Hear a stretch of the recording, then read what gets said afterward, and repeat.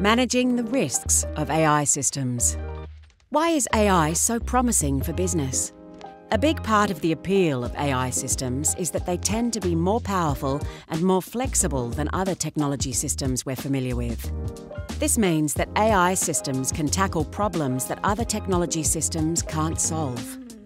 The same technological features also make them less predictable and more difficult to understand than regular IT systems. This means that most businesses' IT governance approaches aren't robust enough to ensure that they are developing, buying, or using AI systems responsibly. Let's think about what you need to consider before using AI systems in your business.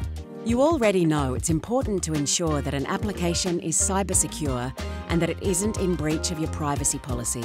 But are you sure that your pre trained AI system will continue to perform equally well a year from today?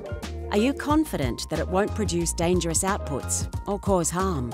Are you certain that it isn't inadvertently breaching human rights? Because AI systems are often used in ways that can have big impacts for your stakeholders, business leaders need to be across these kinds of questions. If not, you might find your organisation exposed to significant commercial, reputational, and regulatory risks. So, let's look at the risks more closely. Commercial risks occur when poor AI system performance leads to extra cost. Ill suited system design and security weaknesses can cost you time and money. For example, many AI systems are trained on data that becomes less relevant over time. If the training data isn't updated, the system will not be fit for purpose. Reputational risks can be even more concerning. Only 34% of Australians say they are willing to trust AI systems. This means you need to be extra careful that your systems are designed and implemented ethically and responsibly. If a system is found to have biased results, or is found to mislead or manipulate, this can severely damage your brand. If you are relying on automated decisions that aren't explained well, you may be at risk of the same reputational damage. Finally, AI systems can create regulatory risks. Australia has a range of laws covering consumer rights, employee safety, and data privacy, to name a few, that apply to your use of AI in the same way they apply to any other product or process in your business. If you're not managing the risks associated with AI, you might mislead customers or endanger workers and be in breach of Australian law.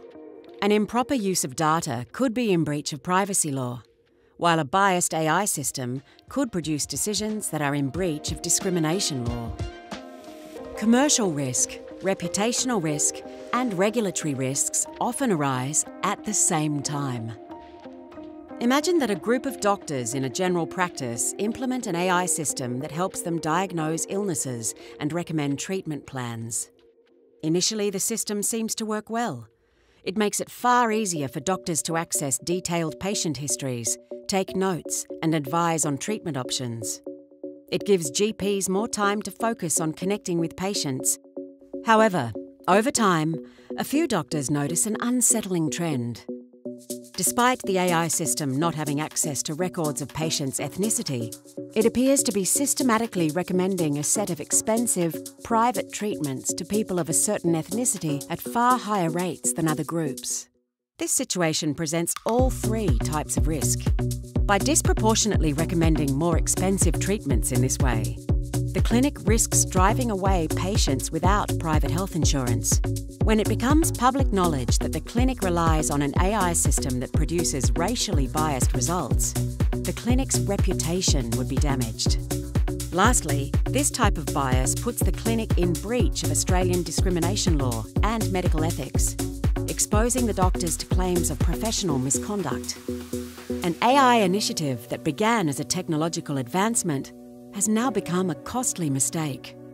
So, how can you ensure that these risks don't materialise for your organisation? The human centred approach is to start by focusing on harms and linking these to risks that may arise later. Harms are real, tangible negative impacts to people. They can range from small inconveniences to serious life threatening consequences.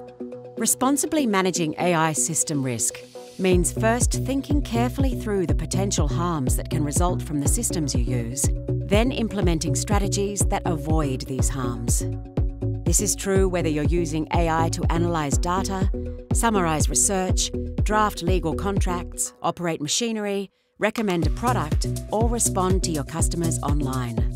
After all, it's only once you understand the potential harms that you can develop controls to prevent them from occurring. In the next video, we will explore how you can do this in ways that make sure your AI system delivers.